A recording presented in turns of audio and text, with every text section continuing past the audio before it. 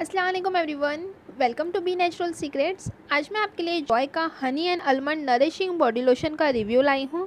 तो गाइज़ ये है अफोर्डेबल बॉडी लोशन जिसके मेन इंग्रेडिएंट्स है हनी एंड अलमंड इसके अलावा इसमें वीट गम ऑयल और नेचुरल सनस्क्रीन भी डाला गया है, जो कि इसमें सनस्क्रीन अवेलेबल है तो हमें बॉडी पर फेस पर अलग से सनस्क्रीन लगाने की भी ज़रूरत नहीं है। इसकी प्राइस ओनली थर्टी रुपीज़ है और क्वांटिटी इसकी फोर्टी एमएल आती है। शेल्फ़ लाइफ इसकी थ्री इयर्स है।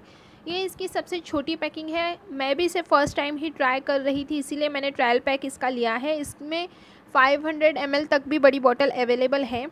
जब मैं इसे परचेज़ करने गई तो मैंने इसकी बड़ी बॉटल्स के बैक साइड में इंग्रेडिएंट्स पड़े पहले उसके। तो उसमें विटामिन ई e डाला गया है इस लोशन में। एलोवेरा भी है। तो मुझे अच्छा लगा काफ़ी। ये हमारी स्किन के लिए काफ़ी अच्छे होते हैं। इसके इंग्रेडिएंट्स सभी अच्छे हैं। इसमें आलमंड ऑयल डाला गया है। तो हमारी स्किन के लिए काफ़ी अच्छा होता है। तो मैंने इसे परचेज़ किया। मुझे इसका रिज़ल्ट बहुत अच्छा लगा।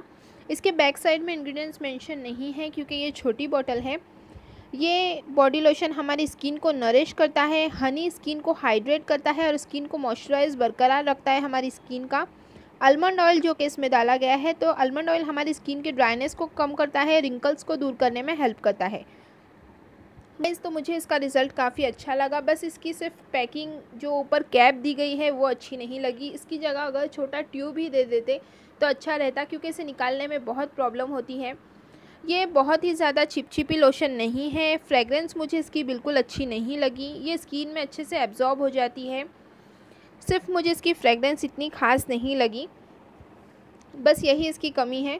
बट ये काफ़ी लॉन्ग टाइम तक हमारी स्किन को सॉफ्ट बनाए रखता है और ये प्लस अफोर्डेबल भी है। तो अगर आप कोई अच्छा सा लोशन प्लस अफोर्डेबल लोशन ढूंढ रहे हैं तो आप इसे ट्राई कर सकते हैं। और अगर आप इसे ट्राई कर चुके हैं तो कमेंट सेक्शन में मुझे बताना कि आपको इसका रिज़ल्ट कैसा लगा, आपका एक्सपीरियंस इसके साथ कैसा है। अगर आपके लिए रिव्यू हेल्पफुल है तो प्लीज़ लाइक कर देना। और शेयर करना बिल्कुल ना भूले। मिलते हैं नेक्स्ट वीडियो में इंशाल्लाह। Bye guys